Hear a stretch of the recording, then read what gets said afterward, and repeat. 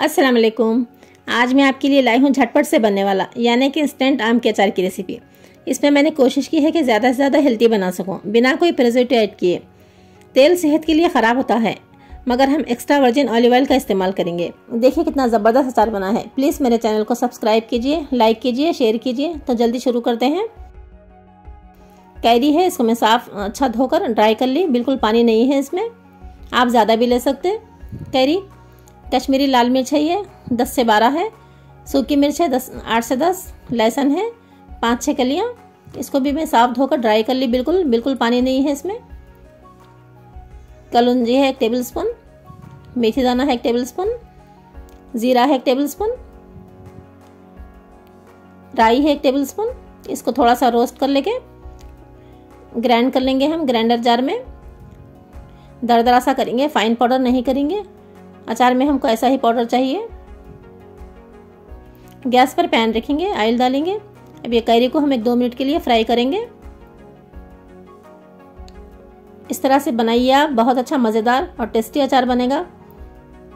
लोग धूप में सुखाते हैं, मगर हम ऑयल हम फ्राई करके अचार बनाएँगे। देखिए कितना ज़बरदस्त बनेगा अचार। आप बनाए बाद कमेंट्स में बताइए कितना अच्छा बना आपका अचार। और रमज़ान में इसकी सख्त ज़रूरत रहती है अचार की, क्योंकि हम खाने के साथ खाने से बहुत अच्छा मज़ा आता है। आप लोग ज़रूर बनाइए। प्लीज़ मेरे चैनल को सब्सक्राइब कीजिए।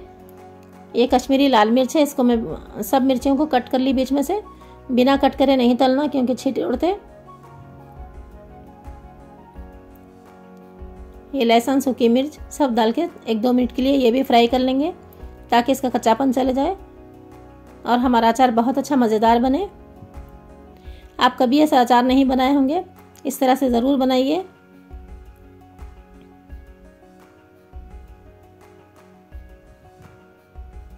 साथ ही में हम अचार का बघार कर लेंगे, ताकि हमको अचार में बघार ठंडा चाहिए। गरम गरम ऑयल से अचार नहीं बघारना लहसुन, सूखी मिर्च, राई, कलौजी डालकर बघार कर लेंगे।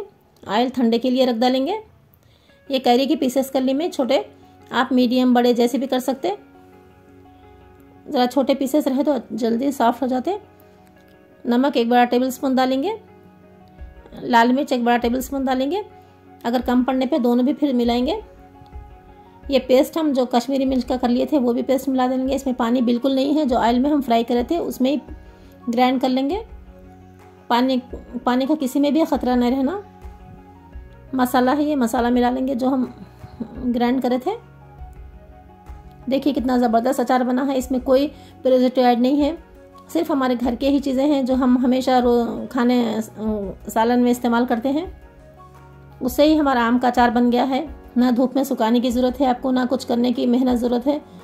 जैसे हम सालन बनाते हैं, वैसा ही उस तरह से हमारा अचार भी बन गया है। दिखा कितना कलरफुल ज़बरदस्त बना है। जो हम बघार के लिए आयल लिए थे, वो भी बघार देंगे।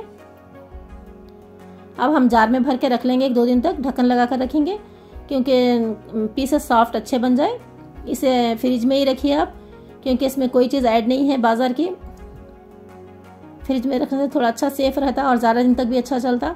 बाहर रखेंगे तो कोई चीज़ मिली भी नहीं ना थोड़ा ख़राब होने का अंदेशा रहता।